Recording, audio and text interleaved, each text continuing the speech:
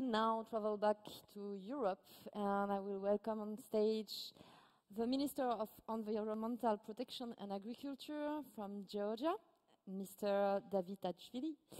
And while he's joining me on stage, I would like to remind you that and to encourage you to follow up the discussion on Twitter thanks to the hashtag you see here, OIE hashtag 86SG, and to join our social media to see videos and photos. Thank you.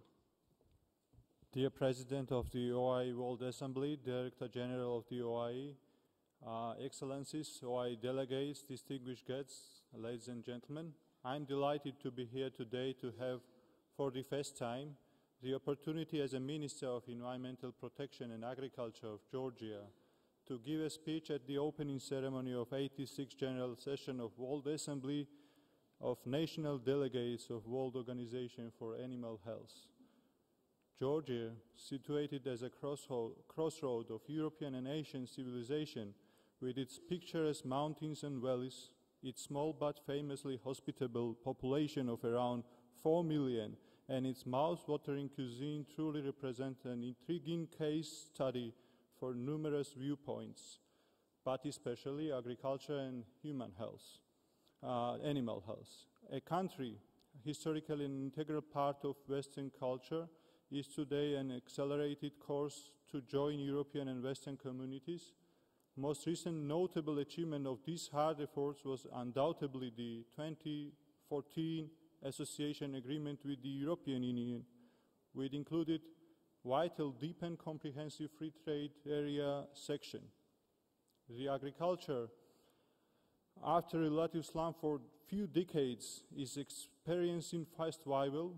Traditional Georgian products, especially wine, mineral waters, hazelnut, are now winning the hearts of European and world consumers. Our livestock industry uh, is developing at a rapid pace, and exports of live animals, meat, meat products are on the steady rise. For instance, export of live animals and meat products has been doubled in 2017 compared to previous year. On the other hand, development brings not only new opportunities but also new risks to animal and human health and their livelihoods. Uh, this is why animal health and welfare is crucial for protecting human and animal health and ensuring economic and agricultural growth, uh, particularly in expanding local markets and exports for our country. Official controls of entire food chain from farm to fork are already by large harmonized with EU equivalents and obligations that Georgia has taken as a part of association agreements, an obligation it did not forget to fulfill. It should not come as a surprise to anyone that we are actively cooperating with World Organization for Animal Health.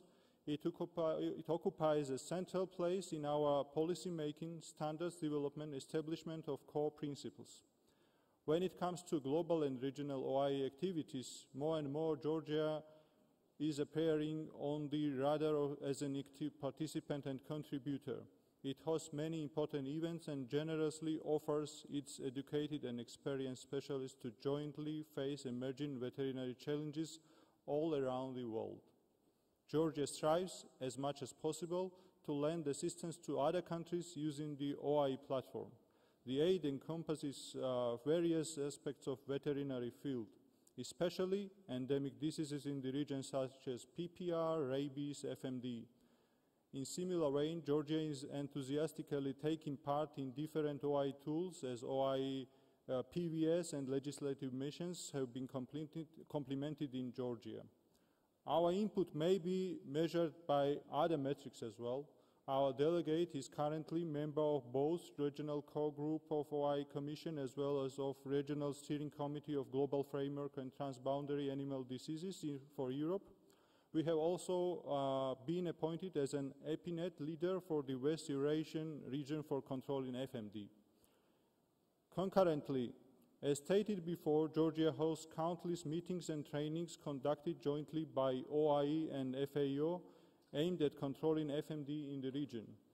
We already have tangible outcomes uh, as the country is rapidly moving up uh, the FMD progressive control pathway stage 3.